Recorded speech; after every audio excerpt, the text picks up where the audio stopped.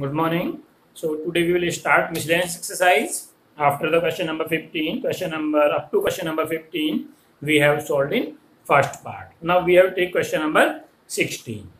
If A 1 upon B plus 1 upon C, 1 B 1 upon C plus 1 upon A and C 1 upon A plus 1 upon B are in AP,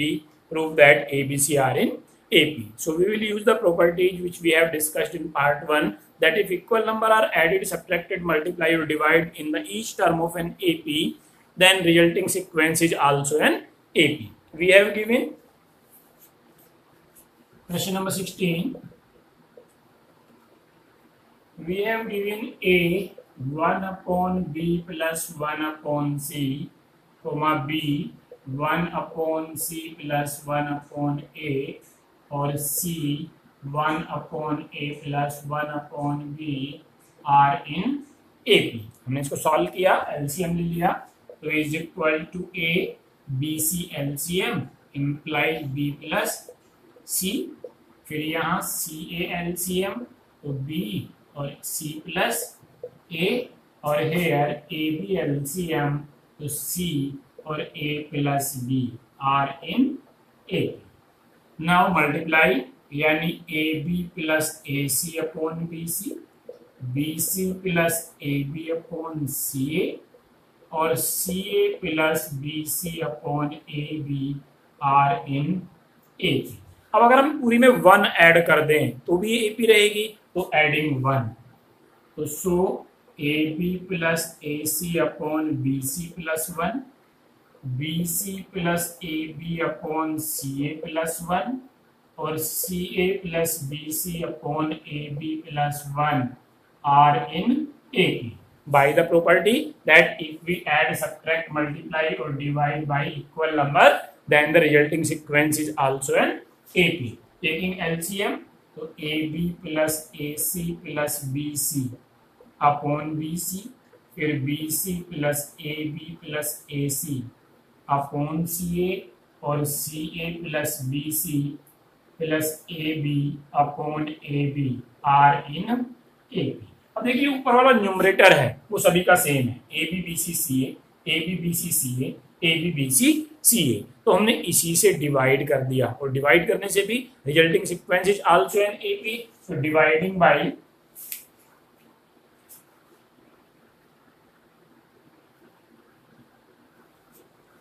dividing by A B B C C A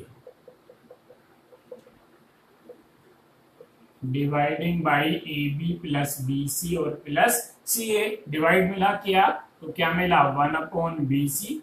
one upon C A और one upon A B are in A P क्योंकि divide करने से भी resulting sequence क्या रहेगी A P अब हमने A B C से मल्टीप्लाई कर दिया multiplying by A B C यहाँ मल्टीप्लाई किया तो ए यहाँ मल्टीप्लाई किया तो बी और यहाँ मल्टीप्लाई किया तो C are in A P so A B C are in A P this is question number sixteen now question number seventeen if a b c d are in gp prove that a to the power n plus b to the power n b to the power n plus c to the power n c to the power n plus d to the power n are in gp we have given a b c d are in gp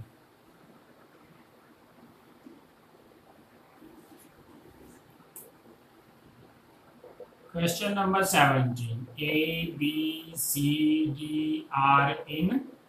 G. अगर ये GP में है तो हमने मान लिया कि let जो कॉमन रेशियो है वो आर है कॉमन रेशियो आर है तो जो बी है यानी सेकंड टर्म वो ए आर जो सी है थर्ड टर्म वो ए आर स्क्वायर और जो डी है फोर्थ टर्म वो ए आर क्यूब के इक्वल होगी तो हमें प्रूव करना है कि A to the power N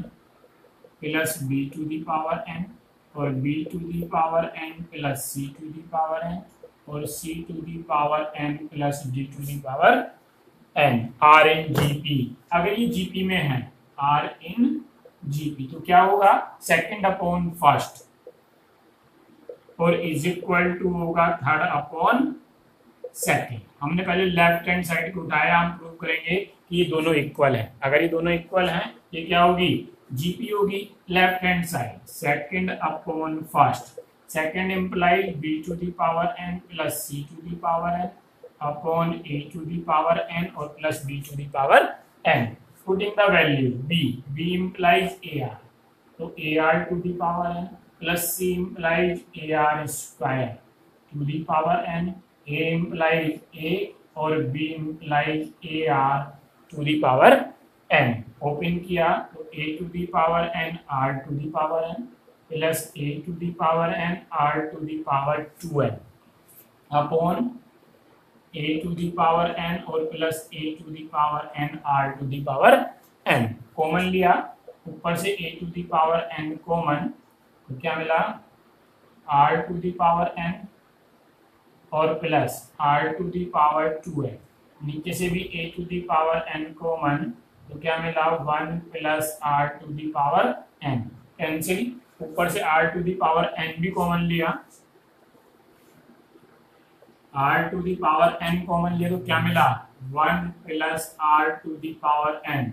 और नीचे भी one plus r to the power n cancel यानी r to the power n this is left hand side now we will take right hand side what is right hand side third upon second third third implies c to the power n plus d to the power n upon b to the power n और plus c to the power n तो c c implies a r square a r square to the power n plus d implies a r cube to the power n upon b implies a r to the power n और plus c implies a r square to the power n open यानी a to the power n r to the power two n plus a to the power n r to the power three n upon a to the power n r to the power n और plus a to the power n r to the power two n ऊपर से a to the power n r to the power two n common तो क्या मिला one plus r to the power n नीचे से a to the power n और r to the power n common यानी one plus r to the power n cancel cancel implies implies what we get r to the power 2n upon r to the power n यानी r to the power n और r to the power n क्या the left hand side imply left hand side is equal to right hand side so these first second third are in gp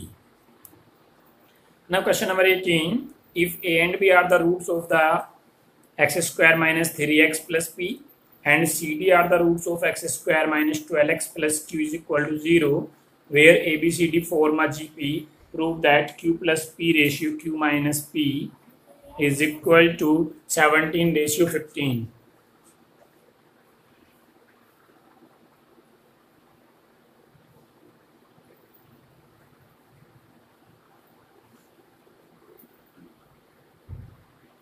Question number 18, miscellaneous, chapter 9 and question number 18.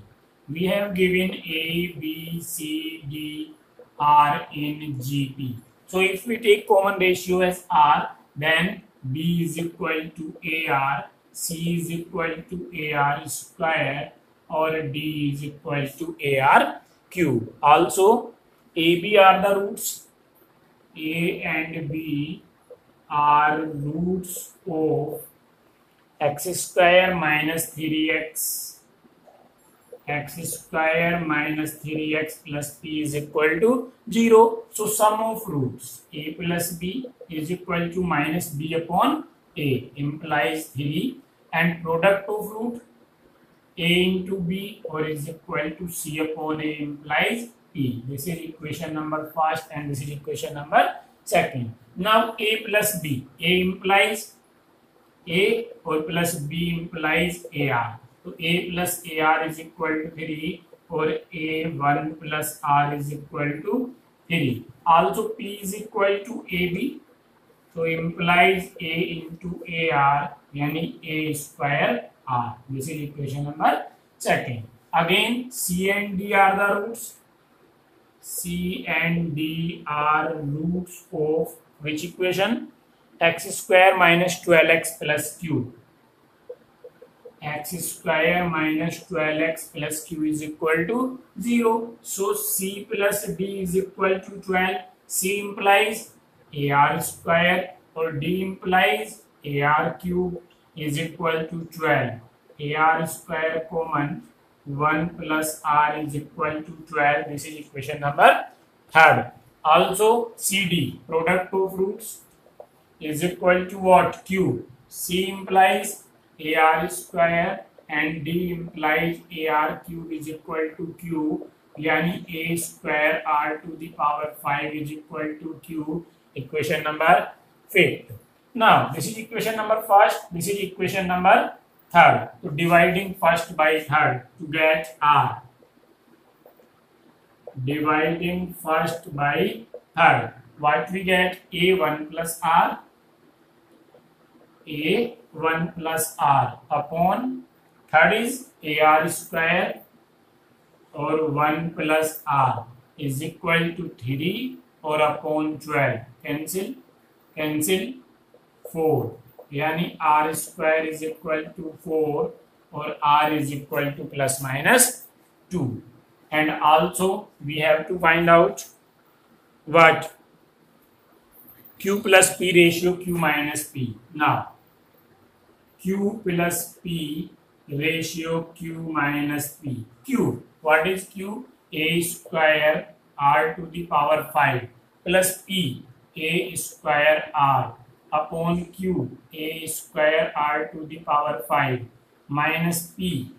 A square are तो ए square are common what we get are to the power four plus one यहाँ से भी ए square are common are to the power four minus one cancel are square is equal to four are square is equal to four putting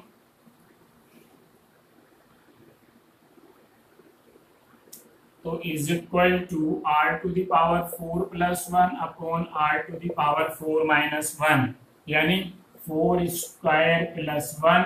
upon four square minus one because r square is equal to four यानी sixteen plus one upon sixteen minus one seventeen upon fifteen so q plus p upon q minus p seventeen upon fifteen यानी Q plus p ratio Q minus p seventeen ratio fifteen this is the solution of question number eighteen question number nineteen the ratio of an and gm of two positive integers is m ratio n same as question number 29 exercise 9.3 we have already solved it So taking question number 20, if ABC are in AP, BCD are in GP, and 1 upon C, 1 upon D, 1 upon E are in AP, prove that ACE are in GP. Important question. Question number 20.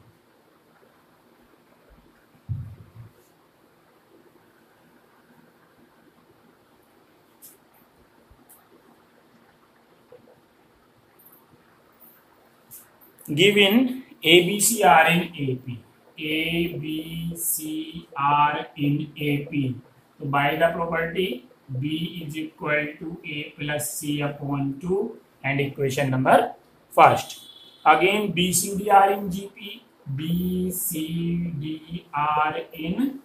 GP. So by the property C square is equal to BD, equation number second. and again 1 upon c 1 upon d 1 upon e 1 upon c 1 upon d 1 upon e are in ap these are also in ap so twice of 1 upon d is equal to 1 upon c or plus 1 upon e or 2 upon d is equal to ce or c plus e or D is equal to we can say twice of CE or upon C plus E this is equation number third now we have to prove that ACE are in ACE are in GP ACE so we have to remove B B and D B and D from second so putting the value of B and D in second putting value of B and D from first and third in second. What we get? C square is equal to BD. So C square is equal to B. B implies A plus C upon 2 and D implies 2CE or upon C plus E. To अच्छा, से two cancel तो सी square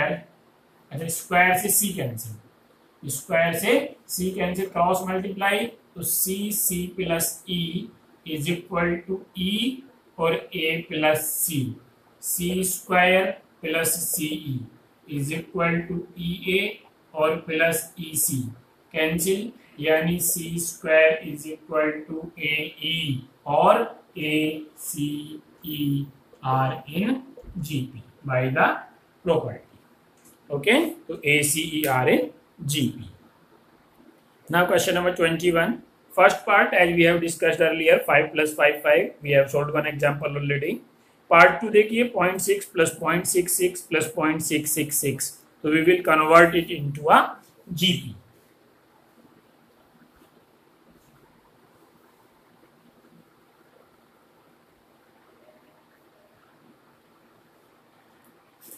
question number 22 part number second we have given 0 0.6 plus 0 0.66 plus 0 0.666 and so on up to n terms we have to find out the sum of the series up to n terms so here let it is sn and taking 6 common if we take 6 common 0 0.1 plus 0 0.11 plus 0 0.111 and so on up to n terms. Multiply and divide by 9 as per procedure. So 6 upon 9, 0 0.9 plus 0 0.999 as so on up to n terms वहाँ हम लिखते थे ten minus one यहाँ हम लिखेंगे one minus zero point one तो six upon nine one minus zero point one plus one minus zero point zero one plus one minus zero point zero zero one and so on up to n terms तो is equal to six upon nine one one one n times so is equal to one plus one plus one up to n terms